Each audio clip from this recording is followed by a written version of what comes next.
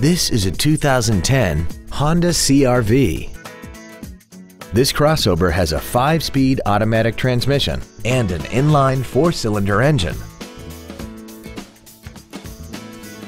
Its top features include a multi-link rear suspension, traction control and stability control systems, alloy wheels, and a tire pressure monitoring system.